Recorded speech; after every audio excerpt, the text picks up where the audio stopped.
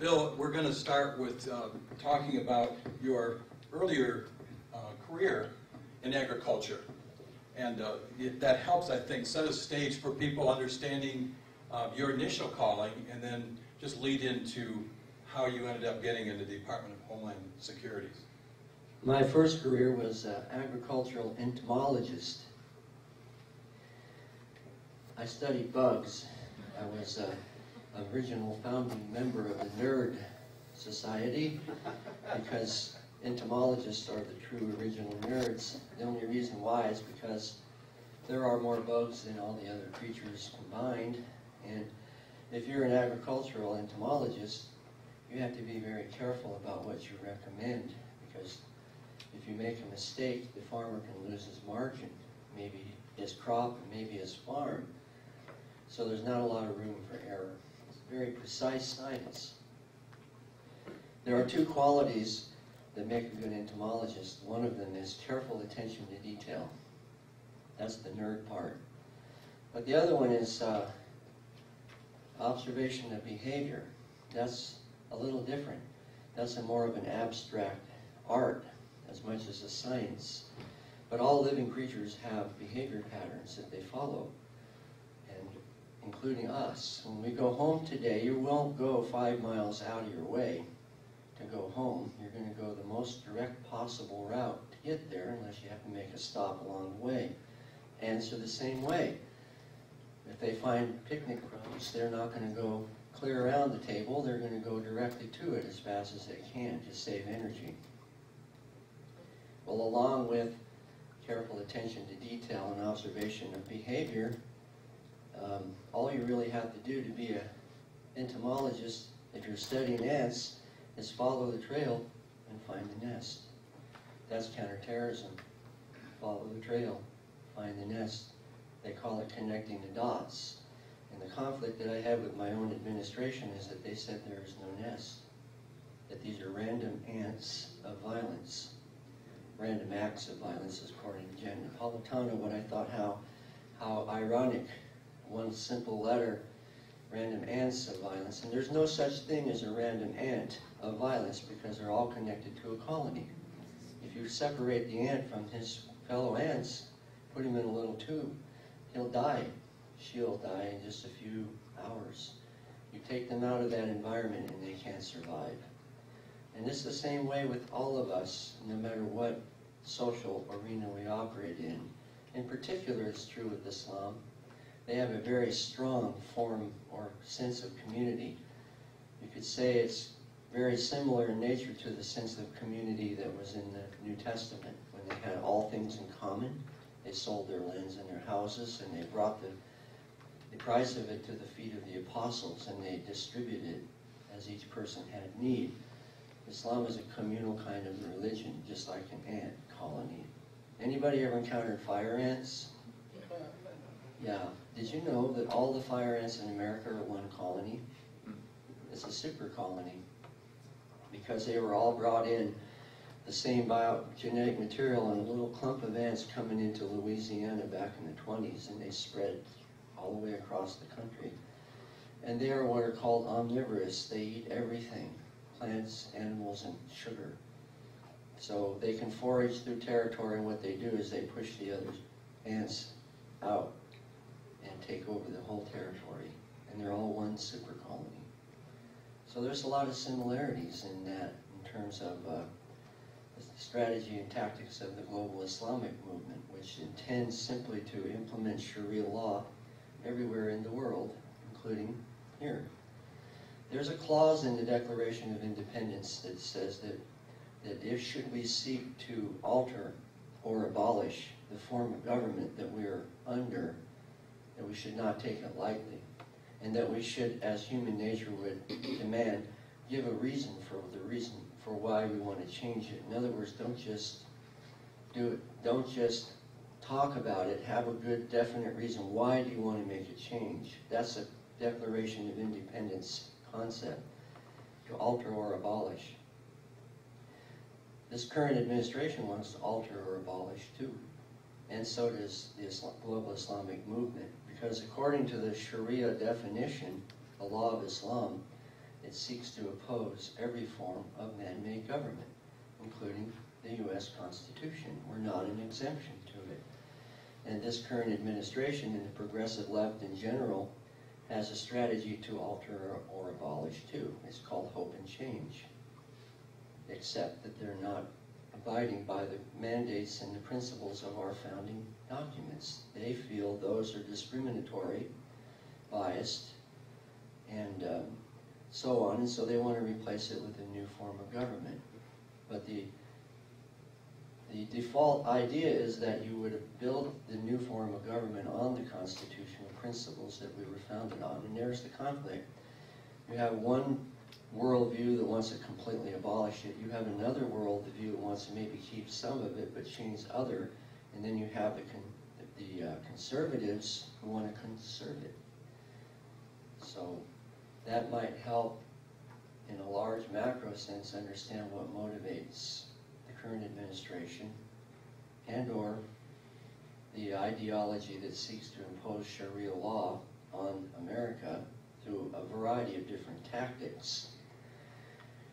Countering violent extremism, how many have And heard Phil, of that? and Phil, just to, um, also, you were in the Department of Homeland Securities, but what was it that ultimately grabbed you and pulled you into the conflict?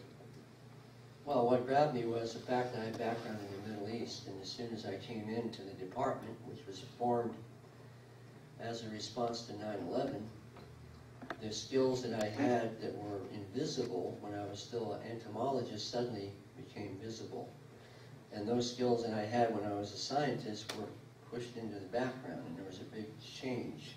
Kind of like Saving Private Ryan. Remember the scene in the movie where they were arguing about the captured German, and then Tom Hanks just says, I was an English teacher. He diffused the whole situation. They were always wondering, what did you do before you were a sergeant? Well, he was an English teacher. I was an entomologist, and I probably still would have been one. I might have been working in the apple orchards down the road here, but 9/11 changed all that. And uh, the skills and background that I had that were not used that much beforehand, there was no market value for uh, Quranic Arabic or the strategy and tactics of the global Islamic movement. Nobody cared because it was way over there, theoretical, so to speak. But then it came here. So I signed up.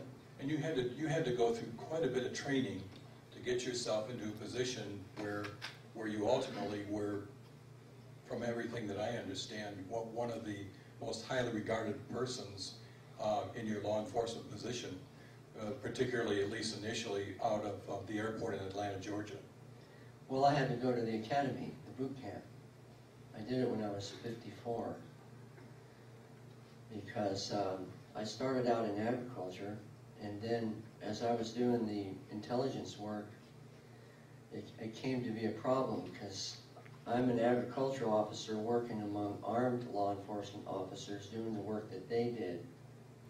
And so it became an issue, so I, I simply said, wait, stop. I literally did that, timeout, actually did this. If I'm gonna get a hand in the face because I'm an agricultural officer, then I wanna go to the academy, convert. And kind of like Paul, I appeal to Caesar. Well, then to Caesar you will go.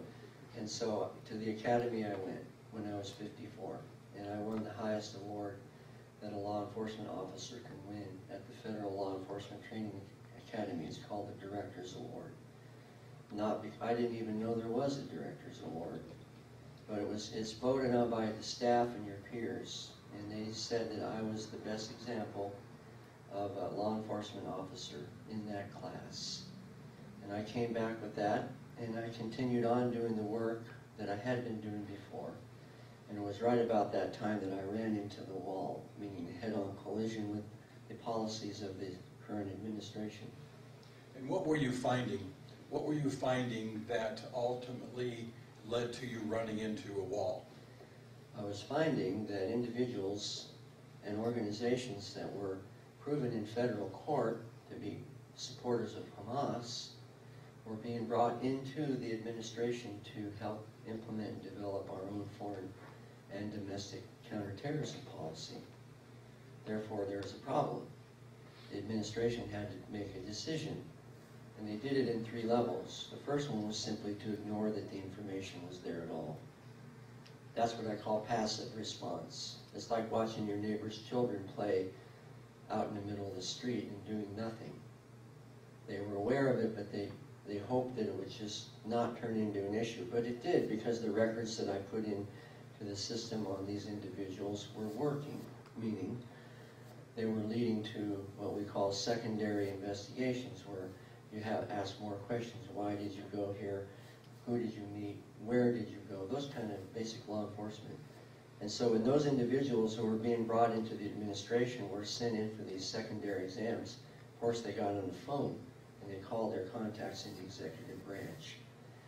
And the decision of the executive branch was to now not only passively ignore it, but to remove it so that those inconveniences wouldn't occur any longer and they wouldn't be sent for troublesome secondary interviews. But then they decided, What year was that? started for me in 2009. After you were in for how many years? That's six years. First time I was investigated though was in 2006, first time of nine times, for writing an article, which you can still look up, called Green Tide Rising, Hamas Ascends. It was right after the the elections in the Gaza and the West Bank. The people of Gaza voted Hamas to be their government. So I wrote an analysis and I posted it on the World Wide Web.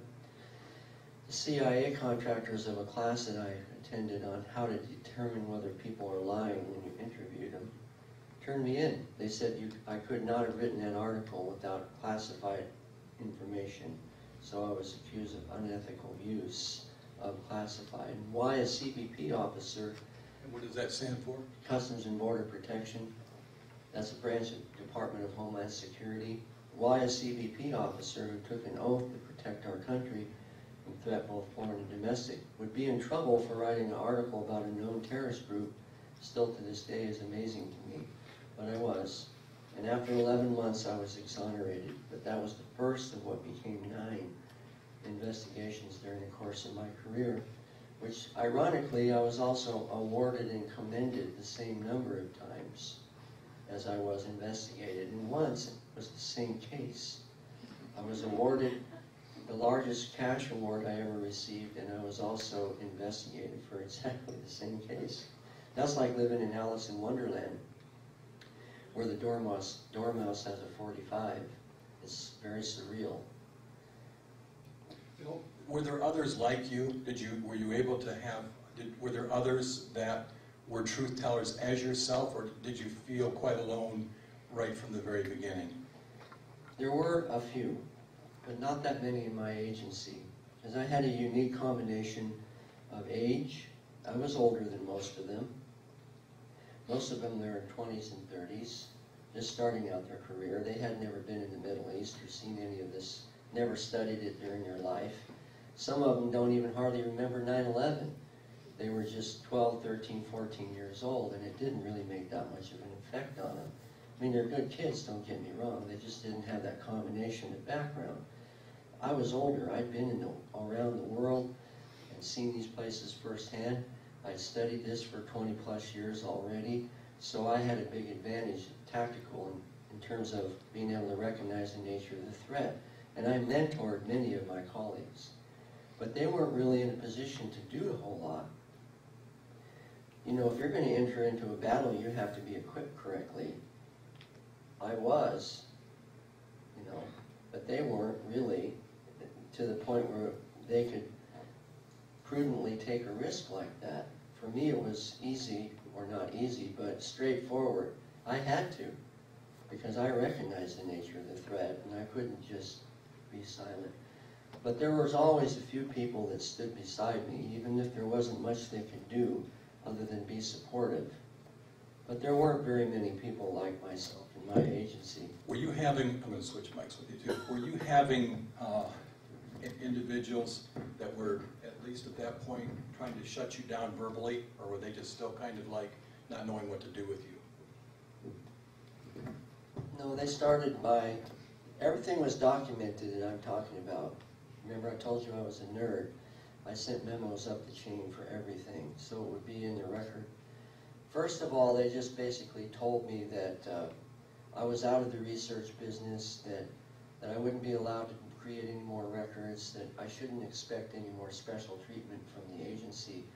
Verbal, then it became gradually more and more till it finally got to the point where the Department of Justice was involved. They convened a grand jury and they were seeking probable cause to indict me on criminal charges. No, this, um, as you were going through this time, um, one of the things that you, you, you found yourself into some, some very hot water was, and I think that, you know, I'm- not wanting to get ahead of yourself, but um, the Boston Mosque situation, is that where you, was that where, what we're talking about here? And if, if that is the case, uh, nonetheless, that's, that is a good, that's a good thing to, to, to share, Well- because that's really significant and very high. It's a good case study. There were five or six, maybe seven, I'm not sure exactly how many major things that I got in trouble for or over, and one of them was the Boston Marathon bombing.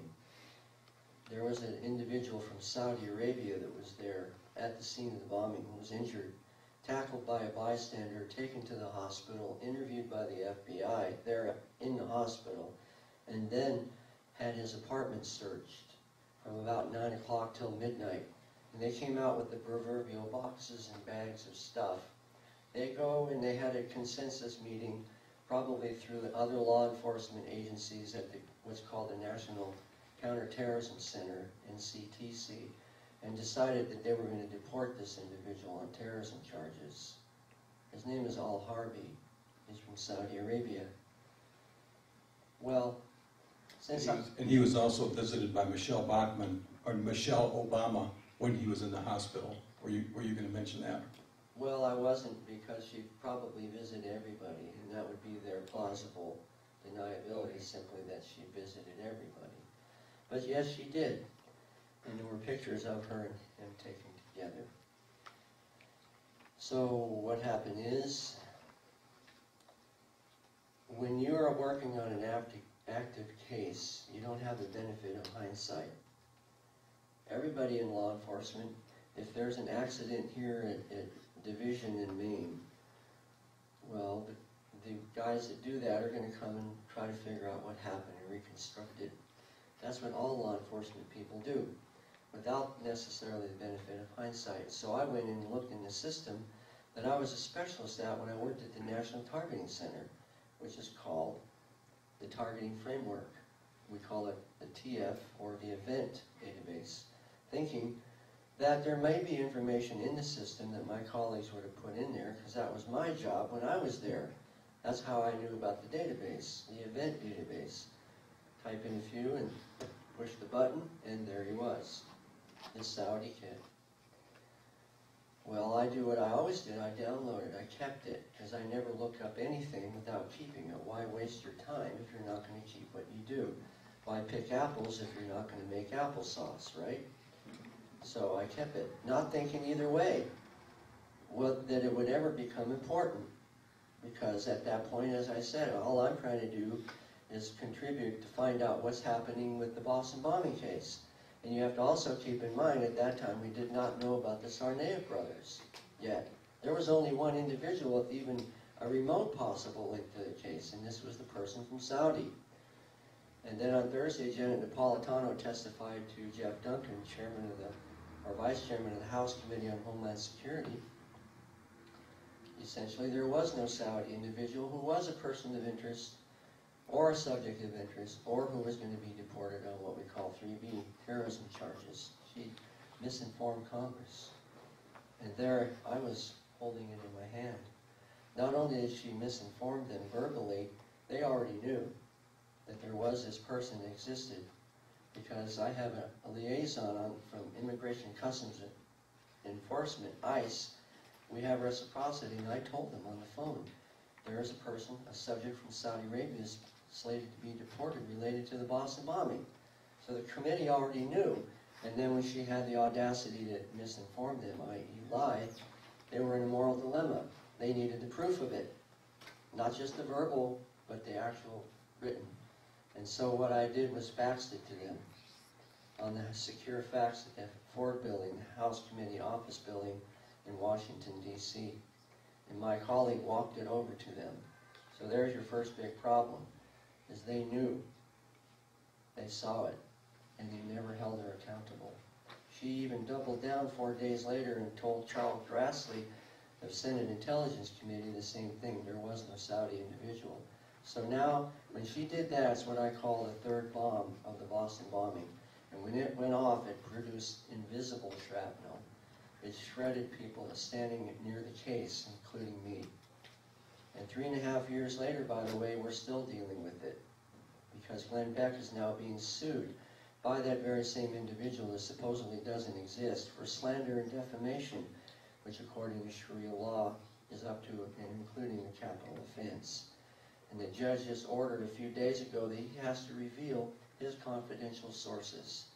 This is an intrusion of Sharia law, a foreign national suing an American citizen while the government stands by with the cynicism is astonishing, maintaining what they call plausible deniability that none of it ever happened, while American citizens, civilians, take the consequences of their abrogation of duty.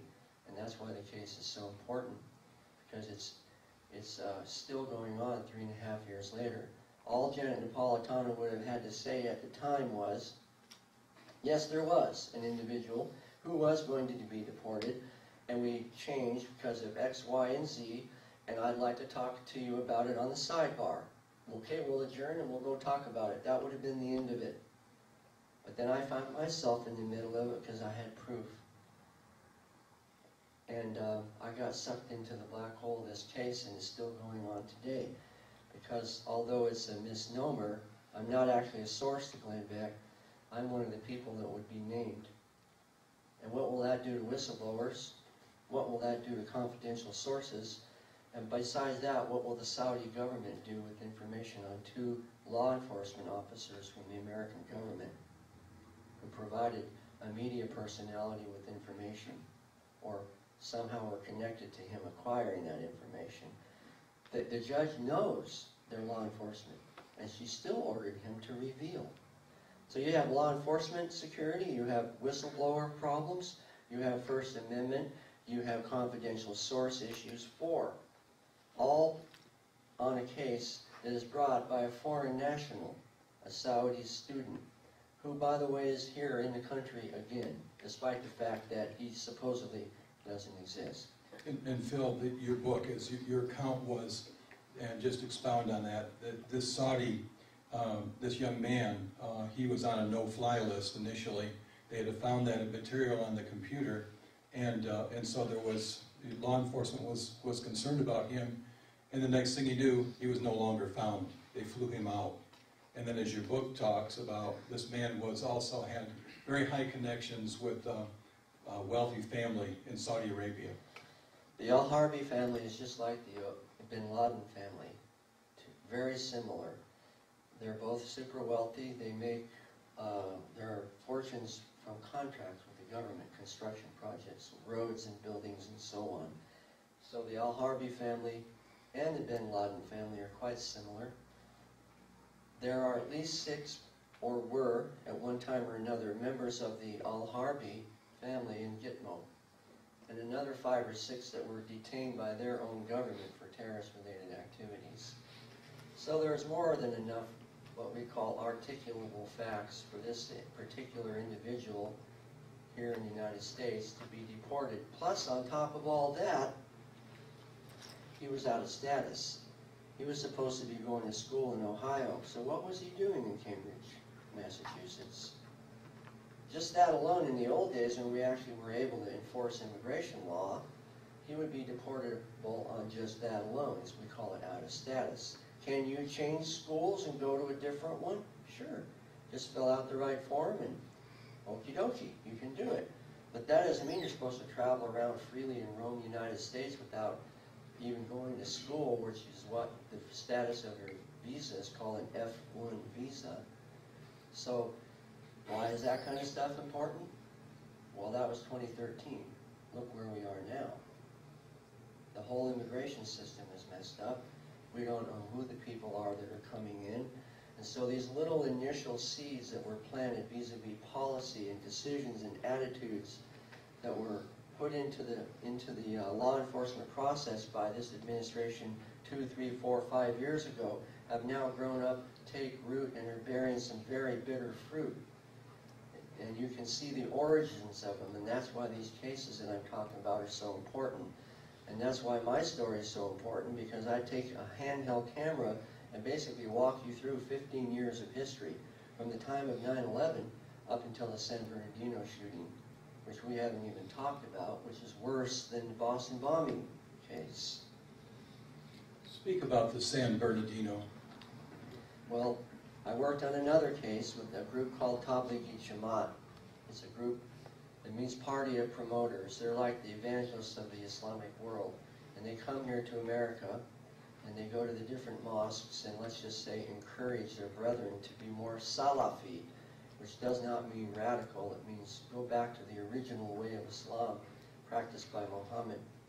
Well, the problem was that these individuals, I noticed in early as 2006, were coming in all with the same signed letter from an imam from a mosque that we already had derogatory information on.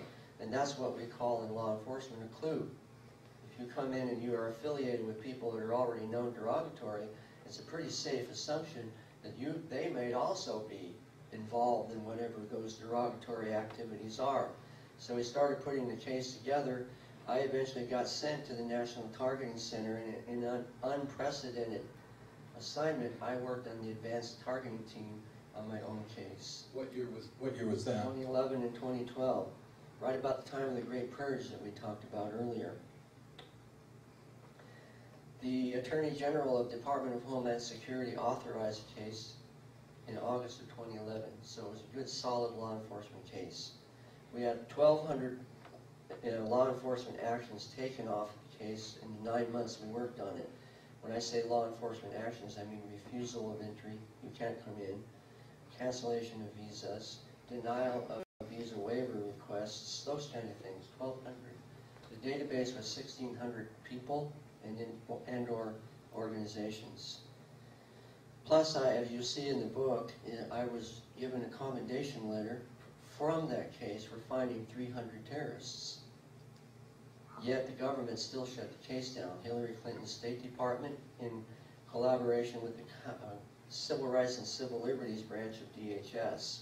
As you know, there's a subcomponent of the Department of Homeland Security called Civil Rights and Civil Liberties, and they encourage Muslim groups to sue the federal government, That's like an animal eating its own foot.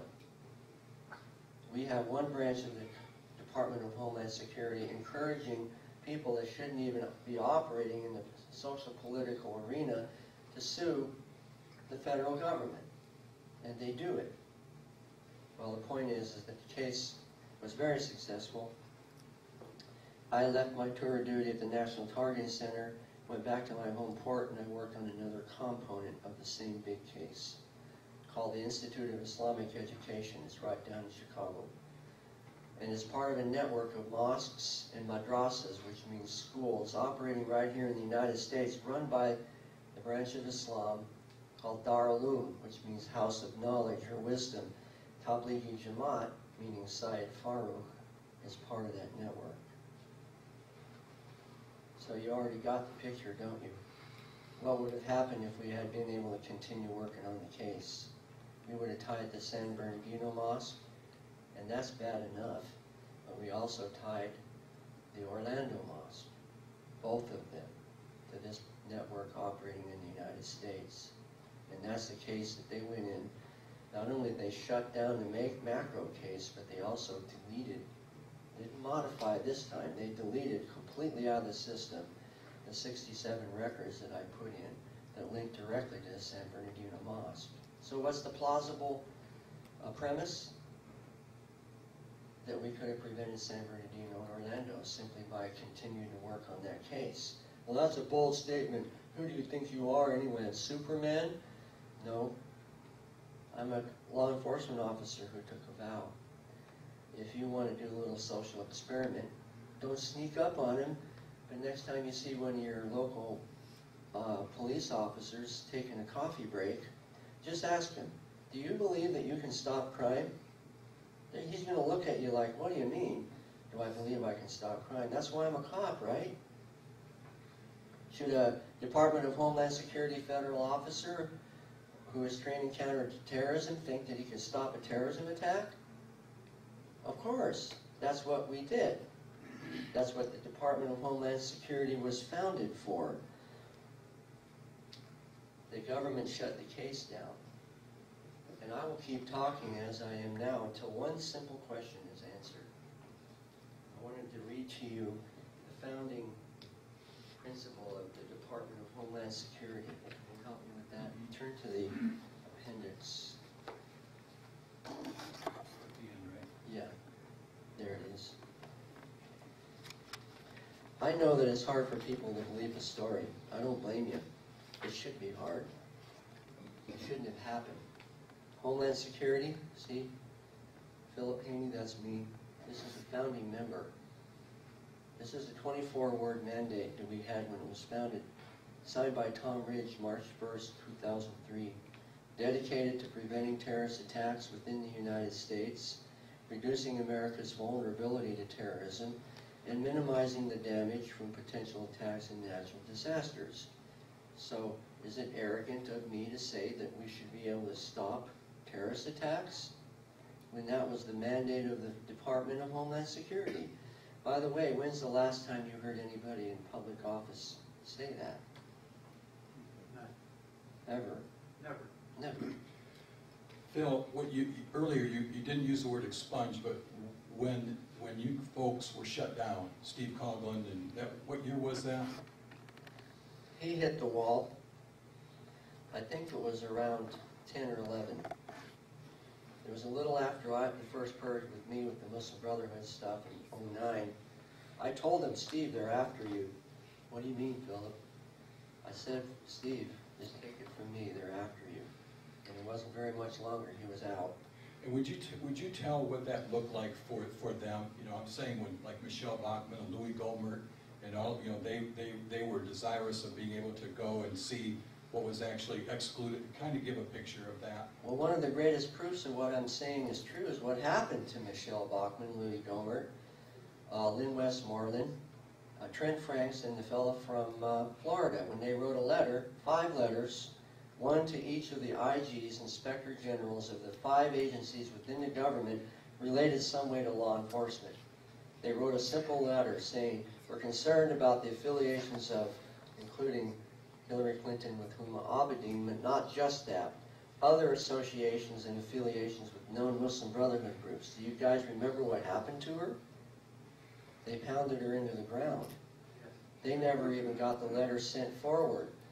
Our own colleagues, her own colleagues, uh, with ours after their name, by the way, attacked her publicly. They intruded into the checks Like and John. McCain. John McCain, Rogers, and Boehner. They intruded into the checks and balances process of government. There's no reason why they had to say anything. Simply pass the letters on and let the IG do their job, and if it turns out there's nothing to their concern, then there's nothing to their concern.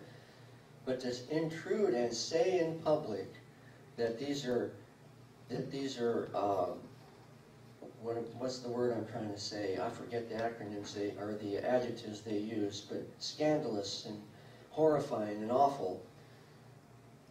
And all they were doing was seeking to see what was expunged from, from the um, law enforcement That was training part of materials, it. right?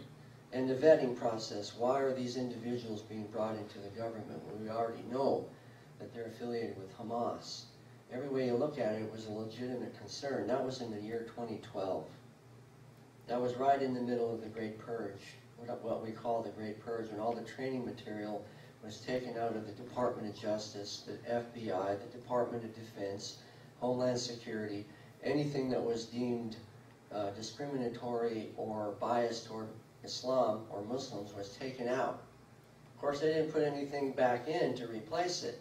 So you have these gaping holes in the training, just like with my records.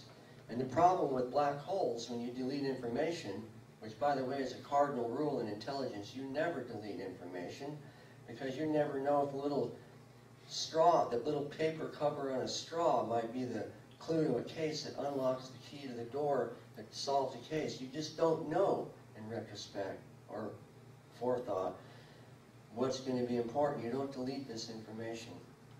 So they never went forward with the investigations at the Congress. So if they were, they were doing it with people like me in the federal law enforcement, and they did it publicly, in this case with members of Congress. So it's not just people like myself. They went after everybody up in the top of the pyramid of law enforcement and, and uh, government that had anything ne negative to say whatsoever about Islam and its possible association with terrorism. And once they wiped out the top, there's nothing to stop them. And this whole policy filtered into the into the mainstream culture, and now we have what we're seeing today, where they're parachuting immigrants literally almost overnight into little towns across America. Nobody knows who they are, where they come from, anything about them. And they're not allowed to participate in the process. They just show up from one day to the next, and they start Phil, is it because they care so much about, um, about these people coming in from other countries? How would you respond to that? I think it has more to do with the phrase from the Declaration of Independence, alter or abolish. This is their way of altering or abolishing the structure of our country the way they know it. They see it as a, a way of increasing diversity and inclusion, and that's their, their strategy. Regardless of what the Constitution says, they want to, it's kind of a social experiment in diversity and inclusion. And they're doing it without the partition, participation of the American public. And why? Well, I think it has to do with love and hate. What do you love and what do you hate? It seems to me that their love for these diversity and inclusion concepts is greater than their love for constitutional principles, or you could flip it around and say that their love for the diversity and inclusion concept of the world they live in um, is complemented by their hatred for the principles that this country was founded on. They find them discriminatory and oppressive. It's very difficult to, um, for us to understand that, um, you know, um, for most, most people like ourselves, living in communities like, like ourselves, which are all across this, this great nation. There are so many wonderful people, obviously. And I know that would certainly be your account. But uh, one of the one of the great mysteries too is how it can be that our federal government can have a person like Huma Abedin tell who she is, and, and like that has been a person that's worked very closely with Hillary for a long time. Give what you can on that. Huma Abedin is the aide to Hillary Clinton. She was herself a member of the Muslim Students Association, which was the oldest and first Muslim Brotherhood front group that was founded in the United States back in the 1960s. It's the parent of the largest known one now, which is called Islamic Society of North America, and other similar Muslim Brotherhood origin front groups that are operating here in America. And those groups were named, by the way, in the Holy Land Foundation trial in November of 2008 as unindicted co-conspirators in the trial. The original plan was to go to phase two. Phase one was successful, then go to next one, phase two, and they specifically named three organizations, Council on American Islamic Relations, Islamic Society of North America, and North American Islamic Trust as being the next um, groups that they were going to look at in federal court. But the Obama administration shut that process down. And instead of merely passively shutting it down, as I mentioned earlier, they went to the next step and they brought them into the administration. And now we're back where we started. That's the great point of conflict between intelligence officers like myself who had already targeted them and put derogatory information on these individuals and organizations. And they had to ignore it or delete it and then remove the people and put it in to maintain plausible deniability. Just like they did with Benghazi. It was a despicable movie. It wasn't Ansar al-Sharia, an Islamic group, that did it. Oh no, it was a movie. And they maintained that false narrative right up until now. In fact, there's been a, what I call a sound wall, a noise wall, that hit Trump. when they said that he was crazy for implying that Obama was the creator of ISIS, but he's not. Because the Defense Intelligence Agency published a report in August of 2012 telling exactly what was going on in Benghazi. It was subsequently FOIA'd, Freedom of Information Act, and released to the public about a year and a half after Benghazi happened. They did three things. They were sending sh shipments of arms to coast little ports on Syria, on the coast of Syria, small quantities so they wouldn't be detected. They were providing them to three particular groups, Al-Nusra Front, Al-Qaeda of Iraq, and the Muslim Brotherhood, specifically named Muslim Brotherhood. And the third is that they encouraged them, this coalition of opposition groups, to take eastern Syria as a buffer between Assad and the Iranian regime. And they did. But then what did they do after that? They, they took Iraq. They saw the back door was wide open and they took it.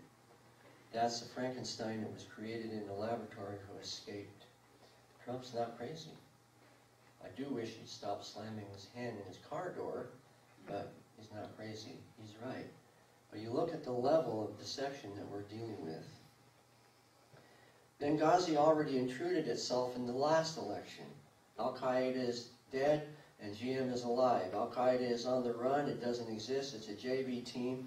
While this administration, in an incredible display of arrogance, hubris, and cynicism, was actually arming the very people that it said was on the run, doing exactly to the diametric opposite of what they told the American people. Of course, if they had been honest about it, President Obama would probably not have been elected the next time. And now Benghazi's intruding itself again into this political discussion by throwing mud at Trump, pretending like this, again, like I keep saying, plausible deniability, erase the information as though it never existed, and now it's playing a role in this particular cycle in the, in the debate between Clinton and Trump. That's pretty ominous, wouldn't you say? What difference does it make? That's what she said. Exactly. Bill, um, the, uh, one of the things that we've heard Frank Gaffney, some people here are familiar with Frank Gaffney, and certainly on his America, or uh, Muslim Brotherhood in America.org, mentions the fact that there's a, a strategy on the part of the Muslim Brotherhood, a 10-part, 10-part um, program, and that uh, we are on the 10th, they've reached the 10th level, and that is uh, the, the erosion or the eradication of the freedom of religion, the freedom of expression. Uh, where are we at in, in all of that, and the, what are the implications of that if we, if in fact falls? If we were a river, if history was a river, we're way, way, way, way past the, the, the river part. We're down in the delta somewhere where it's about to go into the big broad ocean. We're very far along in this whole process. I don't believe it's too late, but I do believe if we don't find the wherewithal to recover ourselves, that it might well, we might well wake up and find out that it's past what I call gravity has taken over. Once gravity takes over, you can't bring it back. So where we are as far as, again, let's be reminded of what the strategy of the global Islamic movement is. It's not jihad. It's not violent extremism. It's not terrorist attacks. It's implementation of Sharia. Those other things are tactics. That's why nobody in the administration can ever explain what countering violent extremism actually is, because it's based on tactics which are like a kaleidoscope, or like describing the taste of chocolate. Can you tell me what chocolate tastes like? Well, you must not know what chocolate tastes like then. No, we don't have words in our vocabulary that convey what abstract concepts like taste and feel are. So when you talk about tactics, which are kaleidoscopic and change constantly, you can't describe them. And that's why this administration seems incapable of explaining exactly what countering violent extremism is. However, if we change, put the emphasis on a different syllable and talked about strategy, it would be very clear. The strategy is implementation of Sharia law. Now, every time you look around at some incident or thing that's going on across the country, it's clear as your, the nose on your face. This is about Sharia law, period. All the rest of it is tactical. Hamas and Hezbollah and Lashkar Taiba and Boko Haram and um, ISIS and everyone in between. Tablighi Jamaat and Deobandis and all the rest of them have the same strategy. They don't argue about that. That's to establish Sharia law through the structure of the caliphate. North America is not exempt from that process. What they argue about is tactics. Whether they should infiltrate from the bottom up or do like Godzilla and stomp on buildings and eat trains for lunch. But they're just tactics. And we spend all of our time wasting our time trying to figure out, no, trying to come to terms with what why are they doing it when we talk about tactics instead of strategy? And I fault the administration because they keep doing this to us over and over, spinning us around. Anybody ever slid on ice? Yeah, well, that's what they're doing. They're sliding us on ice. And uh, we need to come to terms with it. Build your arguments on the Constitution. Because if you do that, you will not, you will insulate yourself, for the most part, from accusations of being biased, racist, and Islamophobic. No, I'm just standing up for the Constitution. That's it. It's Article 6. The Constitution is, shall be the supreme law of the land. I'm not talking about the religious component of Islam at all. I'm talking about the fact that by its own definition it is a form of law that opposes all man-made forms of government, including the U.S. Constitution and or state and federal civil law, because every state has a different civil code. And that is the points of conflict that you will see with Sharia, will be civil code. For example, polygamy. Is it legal in Michigan? Boy, I'll give you a homework assignment. Listen carefully to the first attempt by some Muslim group somewhere in the country to push for legalization of legalization of polygamy, because to not do so, they will claim, is a violation of their religious rights. Watch. I hope I'm wrong, but the chances are better, way better than 50-50 that I'm right, and you will see it, especially if Hillary Clinton wins because she is very, very pro-implementation of Islamic values. She's played a major role in it through the UN during her whole tenure as Secretary of State. I'm talking about UN Resolution 1618, which you can look up, and I'm also talking about the Istanbul process, which she spoke at the inaugural meeting of, uh, I believe it was 2012. That's the Istanbul process and UN Resolution 1618 which basically in a nutshell criminalizes criticism of Islam, taking it global. Which means, by the way, whether you knew it or not, according to Sharia law, I'm violating Sharia law right now by talking about Quran, quoting verses from the Quran, or in their terms would say I'm defaming Islam by simply talking about it the way I do in a non-positive light. I could be killed for this, and that's not an exaggeration. Heard of fatwas, right? Against people like Salman Rushdie. I'm a lot farther into the issue than Salman Rushdie because what I'm saying is not made up. I'm not writing a book that's based on this imaginary scenario. I'm talking about actual Islam on the ground, and I'm talking about Sharia law, which, by the way, interestingly enough, is a book. Which means you can use that book, Sharia, as actually a book. It's not abstract and as a bulldozer to plow through the argument. Use their own words, compare it point to point with the Constitution and civil law, and you can disarm them by using their own words, and that is the victory right there, friends. Words matter. Words brought the universe into existence. Words are very powerful, so we need to take that to heart and use wisdom.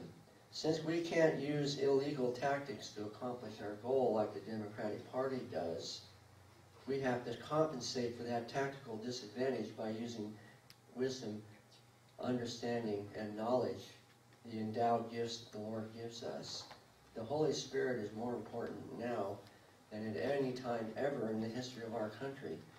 People like us who need to stand up and use the wisdom like Daniel to address our public responsibility and stand up for the things that we know are of eternal value. That's what we're called to do not abrogate our responsibility and withdraw. No, just the opposite, to go right into the fight. Phil, as we move towards closing, because we, we have to be sensitive towards your time, as uh, you'll need to get down to the other side of the state. But one of the things we deeply appreciated uh, about our time with you was, um, as you talked about, um, because I know that one of the great questions is, what can we do? And I would like it if, in part of that answer, if you would also talk about, under the heat of the battle, when, when the, when the government, the administration was after you, how you, you looked to God so specifically and how he was there for you, because I think there's real, in the context of whether, you know, whatever our situation is, he is there. And that's one thing you really tried to make clear to us. The Bible says, having done all, what? Simple words, right? At least on the surface. But what does that actually mean? What does it mean to having done all? You don't stop, that's what it means. And you continue listening to the Lord, that still small voice, the one that my sheep hear my voice and another's voice they will not listen to. Having done all means to continue going like what I call green light down the avenue. Don't stop until the light turns red. Then you stop, and then you wait, and then you see what's to do next. And when you finally do come to the point where you can actually begin to grasp what it means to having done all, then what do you do? Stand. Is it easy? Anybody in the military? DNC, isn't it fun? Standing at attention, is it easy? It's the hardest thing of all, isn't it? 45 minutes, hour and a half. I think I'm gonna die, the gnats are in my nose. I can't take it any longer. Sweat's dripping down my face. Having done all, stand. Come on, hurry up, you guys, and get done. It's very, very difficult, DNC, standing at attention. Having done all, to stand. Don't move. Don't back down. That takes integrity. You have to really know who, what you believe in in order to have the, uh, the, uh, the strength to do that. That's my first thought. Ask the Lord, have I done all? When I stand before Him, will I be able to say with reasonable about, amount of confidence, Lord, I did my utmost for your highest. He's not worried about your mistakes. Remember the parable of the unjust steward who buried his talent? Why did he do that? Because he had a crummy attitude. He said, Lord, I knew that you were a severe judge, so I didn't even try. I figured there's nothing I could do that would please you, so I just put, I buried it. The Lord basically, in paraphrasing, says, where in the world did you get that attitude? That's not the way I am at all. You don't even know me. Since you don't want to be part of my fellowship, then go and give what you had to someone else. Don't bury your talent because of a bad attitude that you don't think you can please the Lord. He's not nearly as interested in or focused on tactical errors you might make along the way. Let him teach you. This is warfare, and it's nothing to be taken lightly, by the way. I'm, sure you know that. But let's go back, having done all to stand, and then take responsibility. According to Romans, government is instituted, and those that have the sword do not bear it in vain. That's the culmination of civil government, is capital punishment. But everything up to, including that, is also instituted. And that's what the Declaration of Independence says too. It is our incumbent as citizens to be involved in the process. If the Lord, the Creator, instituted government among men, then it by default implies that we're supposed to be a part of that process, not wandering around meandering through life in a state of ignorance, because after all, the Bible says, my people perish because of ignorance or lack of knowledge, which is basically the same thing. We're not called to withdraw, we're called to advance into the kingdom of darkness. By the way, you realize we're operating, and trespassing in His territory. That's why we need the armor of God, because if the light is coming out of you, He can see it from 20 miles away. And He's going to be sending high velocity projectiles right after you. Mm-hmm. Because you're armed like Iron Man. No stuff bounces right off you, because no weapon that's formed against you will prosper. If you have integrity, if you don't, by the way, there's nothing that will protect you. You won't get hit. And the Lord is merciful, and you may recover, but why take the chance? Personal integrity is very, very important. And it's a requirement, it's part of the armor of God. Having done all to stand, and I'd like to finish with a quotation that I really love from Abraham Lincoln, which is very apropos for the time we live in now. And that is that the dogmas of the quiet past are inadequate for the stormy present. The occasion is piled high with difficulty, but we must rise with the occasion. As our case is new, so we must think anew and we must act anew. We must disenthrall ourselves, and then we shall save our country, the last best hope on earth. Thank you, everyone. Bill, can I ask you to close in prayer? Can I ask you to close us in prayer? It's so obvious that your walk with the Lord through your varieties of accounts, that uh, that is what how you have been able to avoid indictment. You didn't deserve it, but um, yeah, God has been with you. Please close in prayer. Lord, you promised that you would never leave us or forsake us, that you are the comforter that would walk beside us and lead us and guide us into all truth and show us things to come. I pray that you would open our eyes, help us to see over the horizon and discern the times that we live in, for the days are evil. Help us to not be ignorant, but know the truth and the weapons of war, which are light, and be a light and example of the as an ambassador of the kingdom of God in this world that we live in, right here in America. Help us to represent you in all that we do or say, and from this time forth even unto the last day, Lord, to stand, having done all, give us the courage to stand up and remain standing until you call us home or you return. Amen. Amen. Thank you, Phil.